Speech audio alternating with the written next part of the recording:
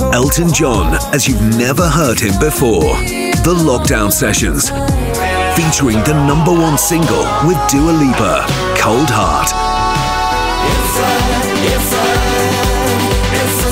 And collaborations with an unparalleled array of artists only he could draw together. Elton John, The Lockdown Sessions. Out now.